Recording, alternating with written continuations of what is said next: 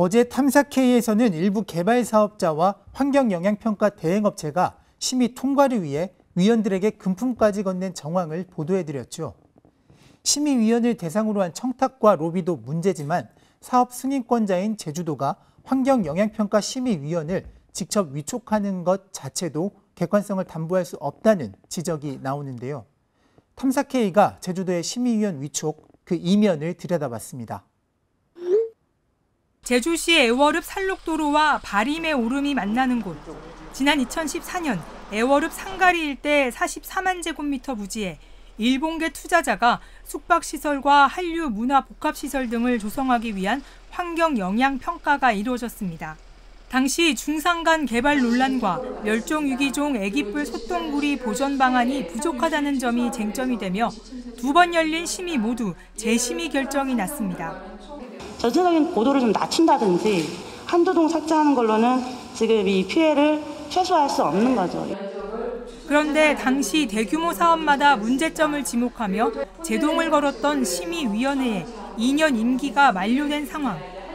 제주도는 상가리 재심의 결정이 내려진 뒤 넉 달 반 만에 기존 위촉직 위원 3명을 제외하고 나머지 위원 모두 교체했는데 새로 꾸려진 환경영향평가 심의위원회 첫 회의에서 상가리 관광단지 개발 사업은 한 번에 통과됐습니다. 빼버리고 신말 잘 듣는 사람으로 전부 다 바꾼 거예요 지금. 우리 교수는 도에서 발주하는 아, 이런 모든 관련되는 일을 그 친구가 거의 도맡다시피 해요. 이에 대해 제주도 측은 전 심의위원들이 요구했던 사업자 측의 보완 계획을 새로 구성된 심의위원회가 검토한 뒤 내려진 결정이며 위원회 구성에도 문제가 없다고 해명했습니다. 환경영향평가 심의위원은 조례에 따라 2회 이상 연임할 수 없지만 제주도가 특정 위원을 세 차례 연속 위촉하면서 논란이 불거진 적도 있습니다. 당시 해당 심의위원은 제주도에서 요청해와 받아들였을 뿐이라고 설명했고 제주도 측은 위원회 구성 조례와 관련한 예외 조항들을 들며 문제될 게 없다고 설명했습니다. 하지만 해당 심의위원회 전공은 건축 분야로 특수 전문 분야로 볼 수 있을지 의문입니다. 이전 심의위원들의 2년 임기가 완료됐다며 위촉직 13명 가운데 10명을 대거 교체할 때와는 또 다른 잣대입니다. 제주도의 환경영향평가 심의위원은 각계 전문가 15명, 환경단체 3명을 환경단체가 추천하는 것 외에는 개발 사업 승인권을 쥐고 있는 제주도가 자체적으로 위원들을 선정해 위촉하고 있습니다. 여기에 당연직으로 현직 공무원이 2명 포함되고 위촉직의 퇴직 공무원이나 제주도 산하기관 직원이 선정되기도 합니다.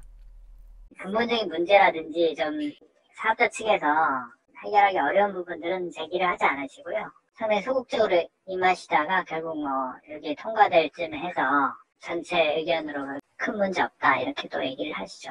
교수들마저도 도의 눈치를 보고 도의 의중에 따라가려고 하고 있는 그런 상황입니다.